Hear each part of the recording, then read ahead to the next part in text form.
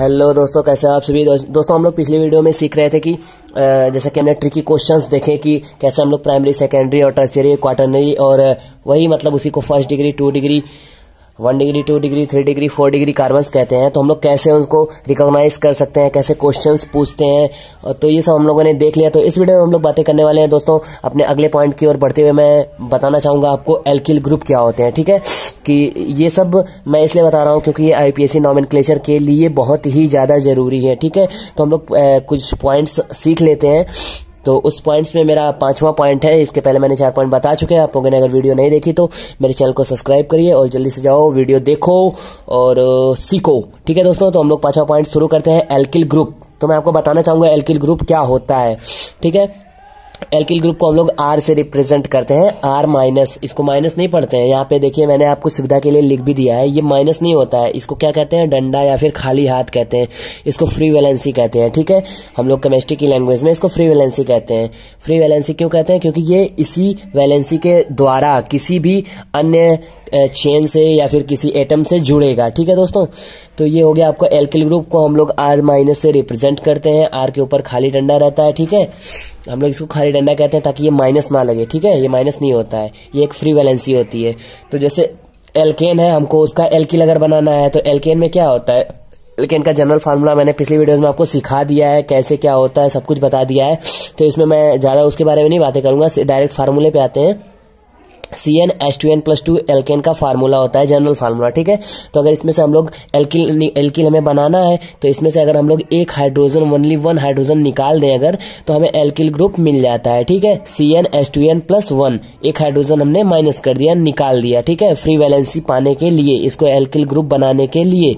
तो ये एल्केन से बन जाता है एल्किल ग्रुप आर खाली डंडा, खाली हाथ कुछ भी कह सकते हैं, ठीक है? फ्री वैलेंसी और इसका जो जनरल फार्मूला होता है वो C two H two C two H two N plus one होता है, ठीक है?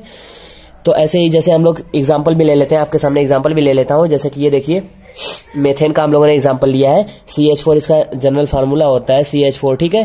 तो इसमें से अगर हम लोग एक हाइड्रोजन निकाल दें तो ये क्या बन जाएगा? एल्किल से क्या बन जाएगा? मेथिल तो इसका एल्किल क्या बन जाएगा? मेथिल जैसे कि इसमें देखिए, एक हाइड्रोजन हमने माइनस किया, आपके सामने रिएक्शन भी लिखी हुई है। एक हाइड्रोजन हमने माइनस किया तो इसके एक खाली डंडा आ गया। इसको कहते हैं हम लोग मेथिल ग्रुप कहते हैं। इसको एम ई खाली डंडा या फिर फ्री वैलेंसी से रिप्रेजेंट किया जाता है जब हम लोग चेन लिखते हैं आईपीएससी नॉमिनक्लेचर में चेन जब मतलब आईपीएससी नॉमिनक्लेचर करना होता है जब किसी चेन का तो हम लोग शॉर्ट फॉर्म में ऐसे मेथिल को लिखते हैं, ठीक है? ऐसे डिनोट करते हैं रिप्रेजेंट करते हैं। ऐसे सेकंड एग्जांपल है आपका इथेन ठीक है? इथेन का जनरल फॉर्मूला होता है सी टू एच सिक्स इसमें से हम लोग एक हाइड्रोजन माइनस अगर कर दें तो ये क्या बन जाएगा? एल्किल इसका बन जाएगा। उसको हम लोग क्या कहेंगे? सी टू जैसे सी टू एच फाइव इसका एल्किल बन गया। इसको हम लोग क्या कहते हैं? एथिल ग्रुप ठीक है? एथिल ग्रुप कुछ लोग पढ़ते हैं, कुछ लोग इथाइल ग्रुप पढ़ते हैं। तो कुछ भी पढ़े, एथिल, इथाइल, कुछ भी आप कह सकते हैं। इसको हम लोग ऐसे भी लिखते हैं, चेन में ऐसे भी लिखा रहता है, रिप्रेजेंट किया रहता है C S three bonding C H two free valency ठीक है? और इसको हम लोग इथाइल ग्रुप का ऐसे ई टी ईटी माइनस इसको पढ़ सकते हैं, लेकिन ये ईटी फ्री वैलेंसी होती है, ठीक है?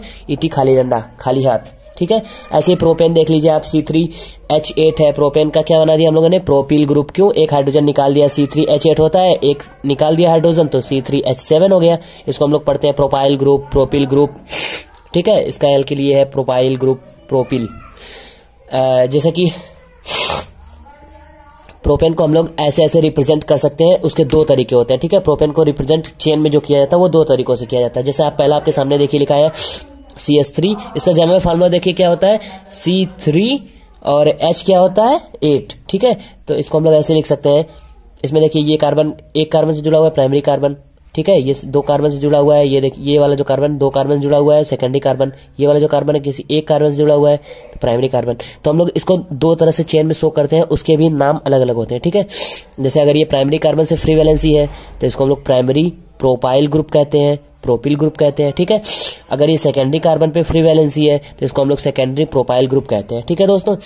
तो इसके आगे हम लोग सीखते हैं नेक्स्ट वीडियो में, क्योंकि ये वीडियो बहुत ज़्यादा लंबी हो रही है। तो अगर चैनल पर नया हो तो चैनल को जल्दी से सब्सक्राइब करो वीडियो को लाइक करो और कमेंट में बताओ आपको वीडियो कैसी लग रही है, और मिलते हैं नेक्स्ट वीडियो में, ठीक है दोस्तों? धन्यवाद, जय हिंद।